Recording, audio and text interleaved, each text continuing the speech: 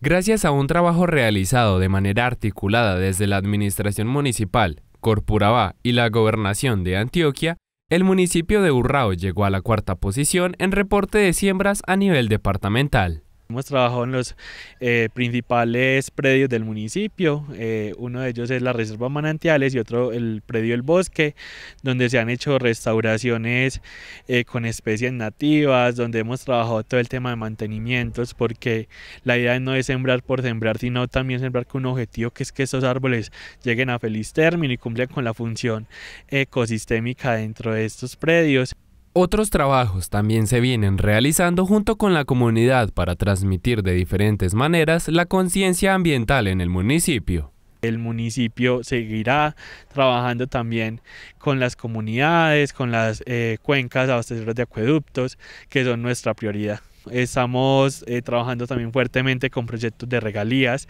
donde hemos intervenido varias zonas de influencia de páramos, hemos cercado también algunos predios de importancia estratégica del municipio de Urrao. A la fecha se llevan alrededor de 540 mil árboles sembrados de acuerdo a los reportes, una gran cifra que trae tras de sí diversos beneficios al territorio, ya que recordemos que estos contribuyen a formar suelos fértiles, evitar la erosión, producción de oxígeno, entre otros múltiples impactos positivos al ecosistema.